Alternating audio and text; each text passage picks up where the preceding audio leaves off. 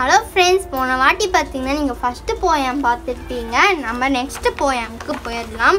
ஒரு சாங் தான் நம்ம பார்க்க போகிறோம் ஓகேங்களா ஃபஸ்ட்டு நம்ம திறந்துருவோம். என்ன சாங்னு நம்ம ஃபஸ்ட்டே பார்த்துடலாம்.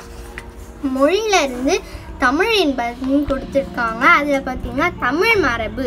அந்த பாட்டை தான் நம்ம இப்போ பார்க்க போகிறோம் ஓகேங்களா தமிழ் மொழி மரபு அப்படின்னு கொடுத்துருக்காங்க. நம்ம பார்த்தீங்கன்னா சிம்பிளாக தமிழ் மரபுன்னு கூட சொல்லலாம். இப்போ நம்ம ஓப்பன் பண்ணுறோம் எட்டாவது புக்கில் பார்த்தீங்கன்னா இந்த சாங் இருக்குது இதோ பாருங்கள் இதான் அந்த சாங் ஓகேங்களா? பாருங்கள் இதை தான் நான் இப்போ உங்களுக்கு படித்து காமிக்க போகிறேன் மறக்காமல் இந்த வீடியோ உங்களுக்கு பிடிச்சிருந்துச்சு அப்படின்னு லைக் பண்ணுறேங்க வாங்க வீடியோக்குள்ளே போயிடலாம். ஃபஸ்ட்டு எடுத்தோடனே கவிதை பேழைன்னு கொடுத்துருக்காங்க. நெக்ஸ்ட்டு ஏழு ஒன்று. தமிழ் மொழி மரபு. நம்ம பார்த்தீங்கன்னா நுழைமுனை படிக்க போகிறோம் ஃபஸ்ட்டு நுழைமுனை நம்ம படிச்சிடலாம். வாழ்விலும் மொழியிலும் சில ஒழுங்குமுறைகள் கடைபிடிக்கப்பட்டு வருகின்றன. வாழ்வுக்குரிய ஒழுங்குமுறை ஒழுக்கம் எனப்படும்.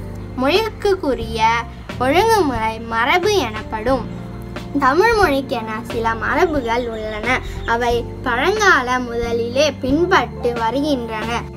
செயலுக்கும் மரபுக்கும் உள்ள தொடர்பை பற்றி தொல்காப்பியம் கூறும் செய்திகளை அறிவோம். வாருங்கள். ஓகே ஃப்ரெண்ட்ஸ் நம்ம நுழைய முன்ன படித்தாச்சு நம்ம தொல்காப்பியம் நம்மளுடைய நிலத்து நீர்லாம் பற்றி சொல்லியிருக்காங்க. அது எப்படி சொல்லியிருக்காங்கன்னு இந்த பாட்டால் தெரிஞ்சுக்கலாம். நிலம், தீ நீர் வலி விசும்போடு ஐந்தும் கலந்த மயக்கம் உலகம் ஆதலில் இறுதியினை ஐம்பால் இயர்நெறி வாழ அமை திரிவுள் செயலோடு தழ ஆள் வேண்டும். தொல்காப்பியம் ஆயிரத்தி ஐநூற்றி எழுபத்தி ஒம்பது. மரபு நிலை திரித்தல் செய்யுட்கு இல்லை. மரபு வழிபட்ட சொல்லின் ஆன ஓகே ஃப்ரெண்ட்ஸ் இதையும் நம்ம படிச்சாச்சு. இது பார்த்தீங்கன்னா தொல்காப்பியம் ஆயிரத்தி ஐநூற்றி எண்பதுன்னு கொடுத்துருக்காங்க. நெக்ஸ்ட்டுக்கு போயிடலாம். மரபு நிலை திரியின் பிரித்து பிரிதாகும். ஓகே ஃப்ரெண்ட்ஸ் இதுவும் பார்த்தீங்கன்னா தொல்காப்பியம் நம்மளுக்கு பார்த்தீங்கன்னா அப்படியே லைனாக கொடுத்துருக்காங்க. தொல்காப்பியர் அப்படின்னு சொல்கிறது பார்த்தீங்கன்னா எழுதியிருக்காரு இதை.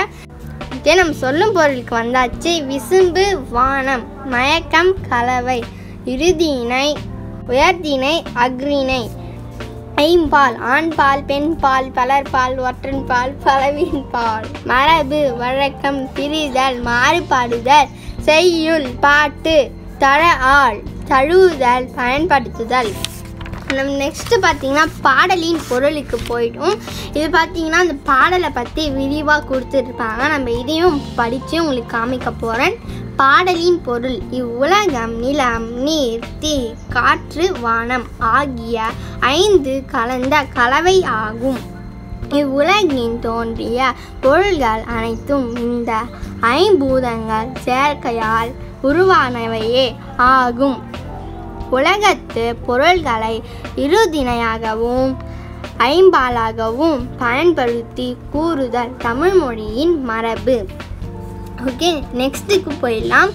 நெக்ஸ்ட்டு பார்த்தீங்கன்னா வினை பால் வேறுபாடு அறிந்து இவ்வுலக பொருள்களை நம் முன்னோர் கூறிய சொல்களால் கூறுதல் வேண்டும். இம்மரபான சொற்களையே சொல்லிலும் பயன்படுத்துதல் வேண்டும். தமிழ்மொழி சொற்களை வழங்குவதில் இம்மரபு மாறினால் பொருள் மாறிவிடும். ஓகே ஃப்ரெண்ட்ஸ் நீங்கள் பார்த்துருப்பீங்க. நம்ம பார்த்தீங்கன்னா ஒழுங்காக படிக்கலைன்னா பொருளும் மாறிடுமா? அதனாலலாம் இப்படி கொடுத்துருக்காங்க. நம்ம பார்த்தீங்கன்னா நம்ம பாட்டு என்ன? இப்போ படித்த பாட்டு பேர் என்ன அப்படின்னு கேட்டிங்கன்னா மரபு. ஓகே ஃப்ரெண்ட்ஸ் தமிழ் மொழி மரபில் ஒரு சாங்கை பார்த்துட்டு இருப்பீங்க அதுவும் நம்ம பார்த்தீங்கன்னா ரொம்ப சூப்பராக இருந்துச்சு. நிலம் தீ அதுக்கடுத்து பார்த்தீங்கன்னா நீர் காற்று ஆகாயம் பற்றிலாம் கொடுத்துருந்தாங்க. ரொம்ப சூப்பராக இருந்துச்சு.